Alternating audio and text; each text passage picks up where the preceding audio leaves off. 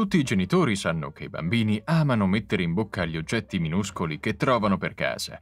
Nonostante gli sforzi di mamma e papà, a volte i loro piccoli finiscono per inghiottire quello che raccolgono. Il Boston Children's Hospital ha persino inaugurato un'ala dove vengono collezionate le cose più strane ingoiate dai bambini, dalle zampe di gallina ai magneti, fino a una spilla prodotta nel 1940 per supportare la rielezione del presidente Franklin Delano Roosevelt. Questa abitudine non ci sorprende, dal momento che i bambini imparano a conoscere l'ambiente circostante proprio assaggiando tutto ciò che incontrano, anche se in alcuni casi i genitori preferirebbero avere figli meno curiosi e più attenti. Iscrivetevi al canale e guardate il video per scoprire cos'era rimasto incastrato nel collo di questa bambina. La prima radiografia. Facciamo prima un passo indietro e torniamo nel 1897, quando il dottor Charles Mayo della Mayo Clinic ricevette la visita di una mamma terrorizzata perché suo figlio aveva ingoiato la fibbia di un gilet. L'oggetto era rimasto incastrato nell'esofago. Tuttavia, prima di procedere con l'estrazione, il dottor Mayo doveva sapere di preciso in che punto dell'esofago si trovasse la fibbia e soprattutto se era aperta o chiusa. L'intervento eseguito alla cieca avrebbe potuto avere un esito drammatico per il bambino, ma all'improvviso il dottor Maio ebbe un lampo di ispirazione. La settimana precedente aveva assistito alla dimostrazione del funzionamento di un nuovo macchinario chiamato tavolo radiologico, che all'epoca non veniva usato per scopi medici perché molte persone credevano che l'abilità di vedere all'interno del corpo potesse sfociare in utilizzi invasivi. Tuttavia il dottor Maio comprese il potenziale medico della nuova tecnologia, acquistò il macchinario e riuscì ad eseguire una radiografia sulla gola del piccolo, mentre il bambino dormiva tranquillamente tra le braccia della mamma. Con le informazioni ottenute ai raggi X, il dottore riuscì a rimuovere la fibbia dalla gola del bambino senza danneggiare l'esofago. Nel processo, Charles Mayo rivoluzionò la medicina introducendo una tecnologia che avrebbe permesso ai chirurghi di tutto il mondo di operare con una nuova consapevolezza. Caramella gonfiabile. La scoperta del dottor Maio si è provata fondamentale per le generazioni successive di bambini, ma uno dei casi più eclatanti nella storia della medicina rimane senza dubbio quello della piccola Aunraya. Sia la piccola che la bisnonna Freda Diwisi, che al momento dell'incidente si stava prendendo cura della nipotina, credevano che Aunraya avesse inghiottito una caramella troppo grande. Purtroppo la bambina aveva mangiato un giocattolo chiamato Water Balls, una biglia realizzata con un polimero superassorbente che cresce fino a 400 volte le sue dimensioni originali quando viene a contatto con l'acqua. Una volta ingoiato da un raia, il giocattolo aveva iniziato ad assorbire l'umidità presente nel suo organismo ed era cresciuto così tanto da rimanere incastrato nel suo tratto digestivo. Quando i dottori la portarono in sala operatoria e la sottoposero a una radiografia salvavita, scoprirono che il suo tratto intestinale si era espanso dolorosamente in risposta alla crescita anormale del giocattolo. La bambina dovette affrontare un intervento chirurgico d'urgenza, dal momento che la Walter Balls avrebbe potuto frantumare le pareti del suo intestino, causando una peritonite potenzialmente fatale. Quando la pallina venne rimossa, i medici misurarono una larghezza di 3,5 cm di diametro. Nella sfortuna, Unraya era stata fortunata perché le water balls possono crescere fino a 5,5 cm di diametro. Per fortuna la causa dell'occlusione venne eliminata e quattro giorni dopo l'operazione, Aunraya poté tornare a casa sua. Speriamo che nel frattempo i genitori avessero rimosso qualsiasi tipo di giocattolo dalla circolazione.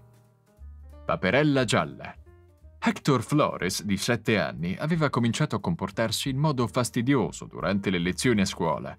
Fino a pochi giorni prima era stato uno studente modello e la sua maestra non riusciva a comprendere come mai avesse iniziato a starnazzare come una papera nei momenti più inopportuni.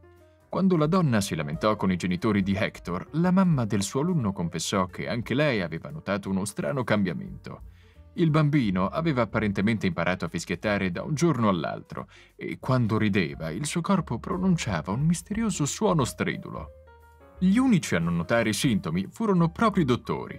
La madre di Hector lo portò al Bronx Lebanon Hospital per chiedere un parere tecnico, ma i medici le risposero che stava soltanto immaginando il rumore e mandarono a casa mamma e figlio con delle pastiglie per il mal di stomaco, convinti che i suoi problemi derivassero da alcuni disturbi della digestione. La famiglia di Hector però non era sorda né pazza, sapevano che il bambino stava producendo dei rumori strani e non si sarebbero arresi finché non ne avessero scoperto la fonte.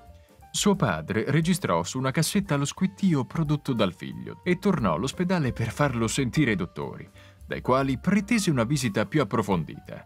Questa volta i medici presero la sua richiesta molto sul serio ed eseguirono un'operazione completa di endoscopia che durò 45 minuti. In uno dei tubi bronchiali che portavano ai polmoni di Hector venne rilevata la presenza di uno squeaker, il dispositivo che permette ai giocattoli di squittire.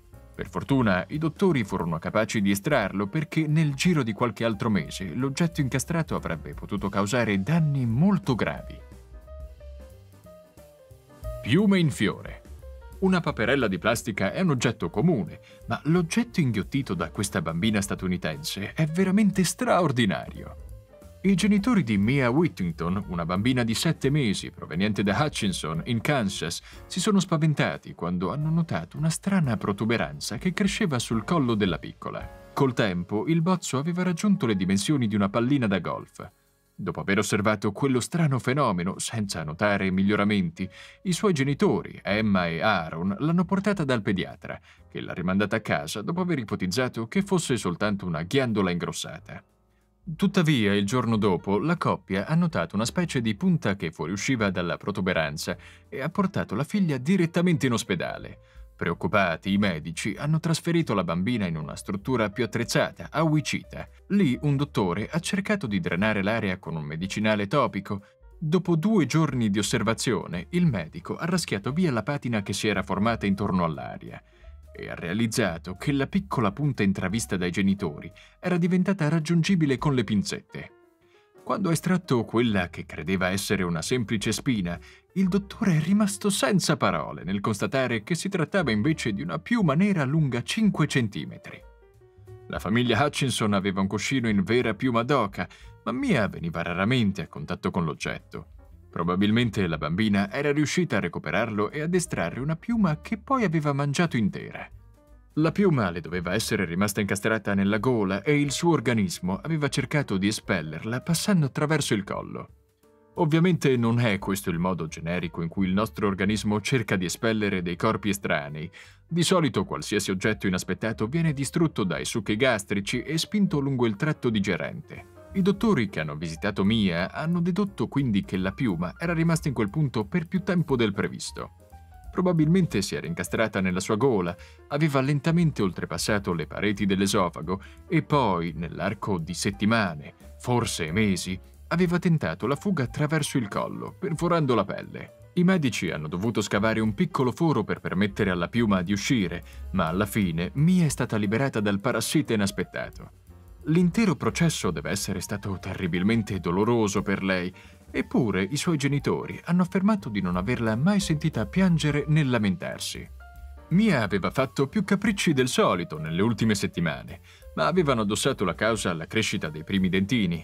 L'infermiera Sandra Mathis, che ha assistito la piccola Mia durante la convalescenza, ha dichiarato che in vent'anni di carriera nel reparto di pediatria dell'ospedale non aveva mai visto qualcosa di simile sebbene una volta avesse accudito un bambino finito al pronto soccorso con delle setole incastrate sulle tonsille dopo aver masticato una spazzola per capelli.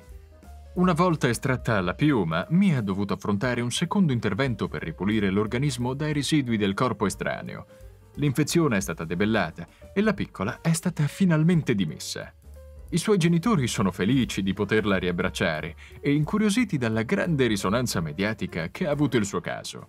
Mia infatti è diventata la protagonista di un documentario giapponese e un'inchiesta di Anderson Cooper. Da adesso in poi però la bambina rimarrà a debita distanza dalle piume di ogni forma e dimensione. Sebbene il tratto digestivo dei bambini sia in grado di processare tra l'80 e il 90% dei corpi estranei che vengono ingeriti erroneamente, la percentuale restante richiede degli interventi chirurgici, a volte anche molto invasivi. Monetine, magneti e giocattoli di piccole dimensioni sono le vittime preferite delle loro manine curiose. La morale della storia è che qualunque oggetto può causare problemi gravi per un bambino, quindi bisogna sempre fare attenzione alle sue mosse. E voi avete mai ingoiato qualcosa di strano quando eravate piccoli? Ditecelo nei commenti. Non dimenticatevi di mettere mi piace al video e di iscrivervi al canale per rimanere sempre aggiornati sulle nostre prossime storie interessanti.